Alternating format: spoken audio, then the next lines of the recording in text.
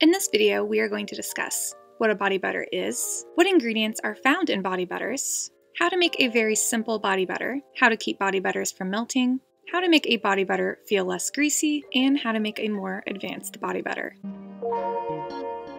Body butters are moisturizers that contain some kind of butter or multiple butters in an oil or a combination of oils. They are thicker and heavier than lotions and are extra effective at treating dry skin in problem areas. They can be used all over the body or on specific problem areas like knees and elbows. Traditionally, body butters are anhydrous, which are the type of body butters we are discussing today. Also, I want to note that body butters, like the name suggests, are typically only used on the body, you can use them on the face, but most of us don't like heavy product on the face. If you do want to formulate a body butter for the face, I suggest using non-comedogenic ingredients so it's less likely to clog pores.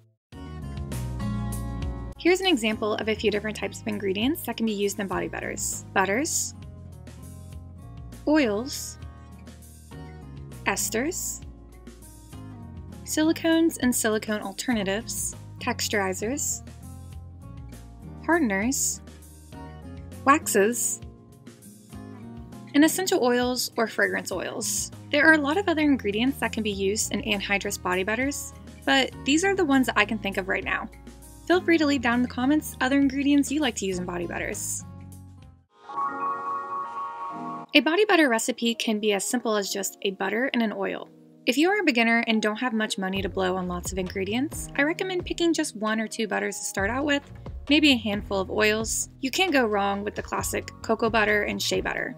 Personally, shea butter is my favorite, but there's no arguing that the most common butters we see are shea butter and cocoa butter. So I recommend starting out with those. Unless you want to try a different butter, then go for it. The most common oils I see people using for DIYs seems to be good old olive oil and coconut oil.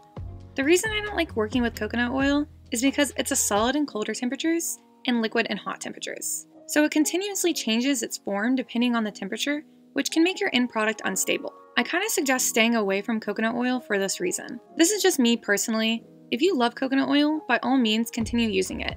I just don't like when my products change viscosity on me, and this is exactly what you'll experience when working with coconut oil. If you want to make sure you're achieving a specific viscosity or hardness with your body butter, it's easier to stay away from coconut oil. If you aren't sure what oils to go out and purchase, I suggest doing some research on different oils.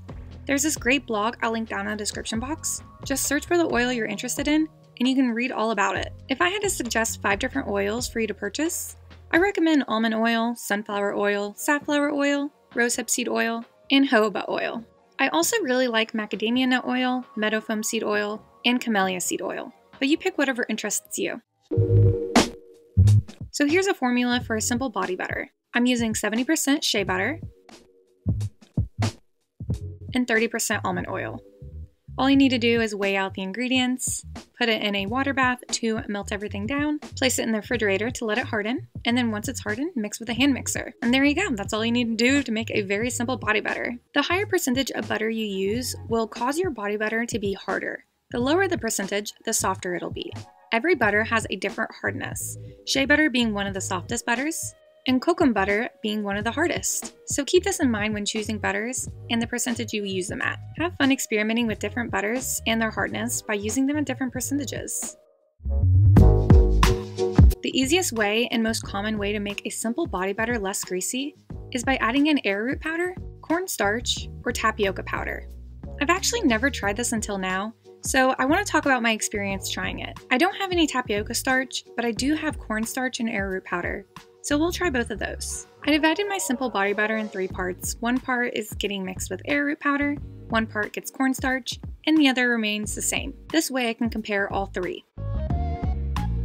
I definitely preferred the arrowroot powder over the cornstarch. I can't say that I got rid of the greasy feeling though. It did minimize it a bit, but not enough to really make a difference. It did, on the other hand, make it feel more powdery and elegant. If you want to make a body butter, I highly recommend the addition of arrowroot powder. It made the body butter feel more luxurious. As for the cornstarch, I can't say it made much of a difference. It may have reduced the greasiness a bit, but not enough to say it really works, especially since there are better ways to minimize the greasiness. Although, if you can't get your hands on arrowroot powder, this is a good alternative. It didn't give that powdery, luxurious feel that the arrowroot powder gave, though. When it comes to a simple body butter, the best way to keep it from melting is to lower the percentage of butter or oil and add in a little bit of wax instead. This way, if you forget your body butter in the car or your bathroom gets really hot, you don't have to worry about it melting. At least, not as much as it would without the wax. There is another way to keep body butters from melting, but we'll discuss that later in this post, in the advanced body butter section. I suggest using wax anywhere between 1 to 5% in body butters. The more I formulate, the more I fall in love with emollient esters. Emollient esters are modified fatty substances that are often used as emollients and conditioning agents. An ester is formed when an organic acid combines with an alcohol. The great thing about emollient esters is that they don't feel as oily on the skin as other types of emollients and fatty ingredients. I'll put a link down in the description box so you guys can read more about esters. For example, the ester caprylic capric triglycerides are a specialized esterification of coconut oil using just the caprylic and capric fatty acids attached to a glycerin backbone. This makes the oil like ester non-greasy and lightweight as compared to a natural oil like coconut oil. I also love emollient esters because there is no surprise when formulating. An ester is always the same. The last batch will always be the same as your new batch, unlike natural oils. The batch of olive oil you buy today might be completely different than the one you buy a year from now, because it is from a different crop. It is harder to find consistency in natural oils, which is a huge reason commercial brands don't typically use them. They want their last batch of face moisturizer to be the same as their new batch, which is why they choose emollient esters over natural oils. Of course, with the growing popularity of natural ingredients, a lot of commercial brands have been introducing these natural oils. They still include those emollient esters, but don't advertise them like they do the natural oils. Most of the time, the commercial products only include a small amount of that natural oil, even though they are advertising the oil on the cover of their shampoo bottle. But let's not get too off track here. Basically, what I'm trying to say is I love emollient esters. They are consistent, lightweight, non greasy, and very moisturizing which makes them a great replacement for natural oils, especially in body butter, since they contain a very high percentage of oil and butter, which are very greasy. The most popular ester used in body butters to help reduce greasiness is IPM. This is an ester of isopropyl alcohol and myristic acid. It is suggested to be used at 2 to 5% in lotions and creams, so we'll be using it at 5% in our body butter today. Now that you understand what an emollient ester is and why you would use one in a body butter in place of natural oils, Let's take a look at a simple recipe for a body butter using IPM. This will create a much less greasy, oily, and heavy body butter compared to the one before. Here's the formula I'll be using. You just want to weigh out all the ingredients, melt them down, let it sit in the fridge to reharden, and then mix with the hand mixer.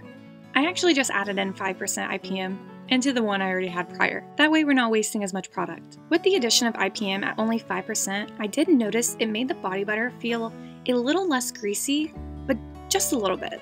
The big difference I think it made is it made the body butter absorb quicker. I don't feel like it was left sitting on my skin as long as the body butter without IPM. It did give the body butter more of a dry, greasy feeling and made the body butter feel less slippery. I think if you added an arrowroot powder, it will really take a basic body butter to the next level with only minimal ingredients. So now we're going to replace all the plant oils with esters. We're going to be using 70% shea butter, 5% IPM, and 25% C12 15 alkyl benzoate. Weigh out all the ingredients, heat it up using a water bath to melt everything, let it sit in the fridge to reharden, and then mix with a hand mixer. This one felt far less greasy than the prior body butter. It was still pretty greasy compared to a lotion, but it had more of a dry, oily feel. Then when I added in the arrowroot powder, what a difference! I really, really liked this one. Earlier in this post, I mentioned that there is a way to harden body butters, and that is by adding in hardeners like fatty acids and fatty alcohols. This includes cetyl alcohol, stearic acid, behenyl alcohol, sorry if I didn't pronounce that right, and cetearyl alcohol. Let me know if there's any other ones that you like to use down in the description box. These are great additions because you can lower the percentage of butter, which is one of the huge cause for oiliness and greasiness, and instead use one of these hardeners in place of the butter. These hardeners have a much higher melting point compared to butters and are moisturizing without being greasy. Combining these hardeners with emollient esters will create a much less greasy body butter compared to the ones made without these additions. Here's a formula for an advanced body butter with emollient esters and hardeners. I'm going to be using 50% shea butter, 10% cetyl alcohol, 5% IPM, 25% C12 15 alkyl benzoate, and 10% coco caprylate. Just weigh all the ingredients out, melt them down, place it in the fridge to harden, and then mix with a hand mixer. So this one came out much softer than the prior one. It melts upon contact of skin much easier. I was actually pretty surprised by this. So if you want it to be harder, definitely increase the percentage of cetyl alcohol or use a different hardener like stearic acid. Stearic acid can actually create a thicker and harder product compared to cetyl alcohol. I definitely preferred this one over the prior as it was less greasy. I do think I would have preferred it to be a bit thicker though. So next time I would try using stearic acid or increase the percentage of cetyl alcohol. I could even try adding a wax to it too to increase the hardness. Of course, when I added in some arrowroot powder, it really made the body butter much more pleasant to use. So I've actually never been the biggest fan of body butters, and this is really the most I've ever really worked with them. I have tried some really lovely body butters from one of you guys. I'll link her shop down in the description box if you guys want to go check her out. I think I did a review over her product, so I'll link that down below too. But other than that, I've never really used body butters too much and never really worked with them too much. So if you have any tips that you would like to share, add them down in the description box. It'll help me out, it'll help my viewers out, and feel free to comment anything else you guys would like about body butters. Have any questions, put them down below. And with all that said, let's move on to the Patreon shoutouts at Stardust Bath and Body, Nature's Farm Girl, Kennedy's Essentials, LettsBlend, Creative with Love, Wallflower Wildflower, Heartfelt Beauty, at Sugared underscore Pineapple, KAJ Bath and Body, Blue Mint Soaps, Sayterra, at Salt Air Label, Lanice Beauty, Ardrew Naturals, Shark City Naturals, Ohana Lay, at Danny Botanicals, Eclectic Beauty Cosmetics, EC Naturals, at Nino55, Ruhitas Skincare, D. Marie Skin, Kay's Spa Soap over on Etsy, kayandcool.com, Hempy Girl Organics, and BrieMaquillage.com.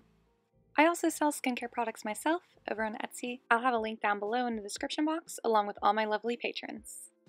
So I do hope you guys enjoyed this video over body butters. This is a part of my Formulating for Beginners series.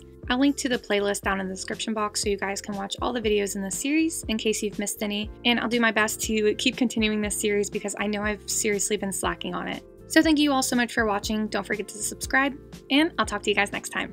Later. Stuck in the motions. I've been consumed by the wrath of time like I'm I'm shattered in this life. It's still the path that I've chosen. Because I've had a vision. Now I'm on a mission to find myself with you.